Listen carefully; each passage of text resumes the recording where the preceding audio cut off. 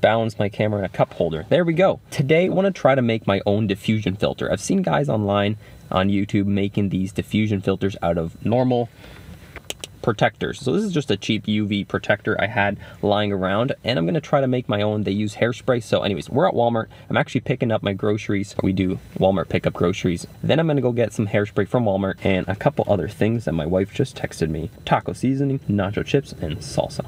Oh, and sandwich bags. So that's what we're doing today. Oh, I think my groceries are actually here. They even put it in your car and everything. All right, let's go. Ah, I forgot my ND filter, so unfortunately, just bear with me. Everything's gonna be clipped, so. Excuse me, do you know where hairspray is? Perfect. Excellent, thank you so much. What happened to the eggs?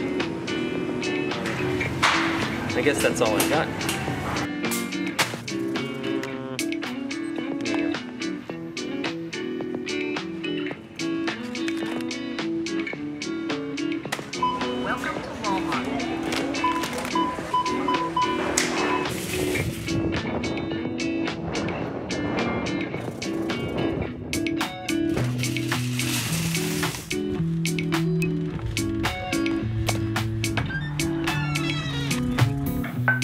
Here's the chef cooking nacho salad.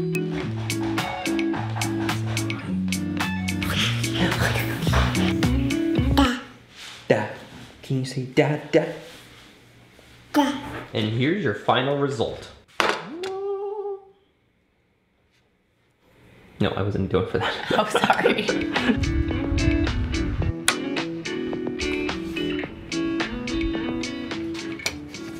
There we go, that should be a lot better for you guys. Just getting the lapel here.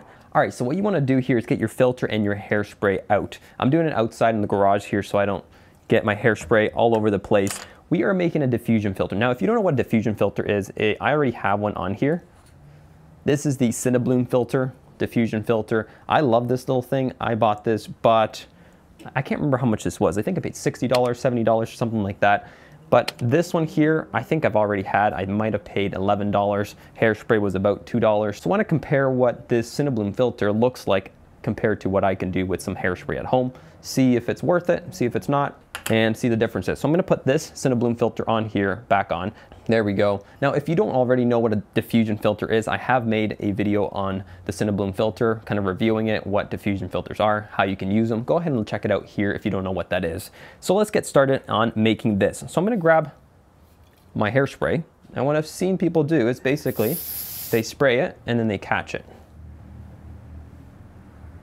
Hmm, interesting. Okay. So one thing I'm noticing here is that the dots are definitely bigger than the dots on the Cinebloom filter. Hold up. Wife's calling. Hello? So let me see, if I scratch them, I wonder what's gonna happen. Okay, so as soon as I added water, they did come off with a good rag. So let's try that again. And I think I'm actually gonna do them in the inside. I think if they're in the inside and then they're on your lens, I would think they're not gonna smudge off as easily. So let's try that. Okay, so I put it on pretty heavy.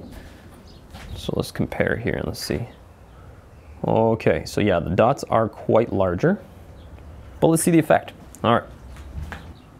Oh yeah, look at that. Hey, that's actually not too bad. And here's Cinebloom. The results are quite impressive. Skin tone test. Okay, and then let's try Cinebloom.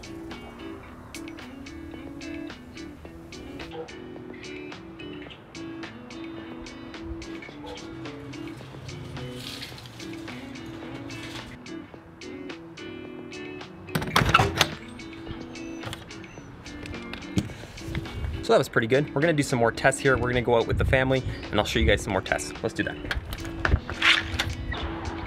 Cinebloom.